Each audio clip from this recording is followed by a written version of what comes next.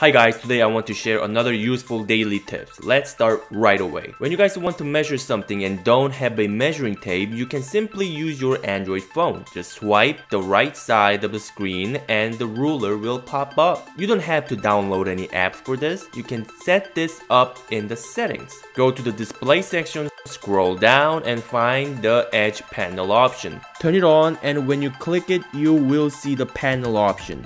Change it to tools. Now it pops up on the right side of the screen. You can change the measurement to the inches or centimeters. Also, if you click three dots at the top, there are other useful tools as well. If you're using an iPhone, as I mentioned earlier, you can download an app to use for the measurement. Another tip I want to share is about the actual measuring tape. When you look at the end of the tape, you notice the end part is shaky. Some people might think it's broken. However, it's intentionally designed this way as it slides exactly exactly the same as the thickness of the hook. So when you are getting a pulling measurement, it will be more accurate. Lastly, when you're measuring a corner or against the wall, you don't have to bend the tape. If you look at the body of the tape, it tells you the length of the body. So you can simply add the measurement and the body length. If you found this video helpful, you don't have to leave a like, but please, please leave a subscribe to the channel.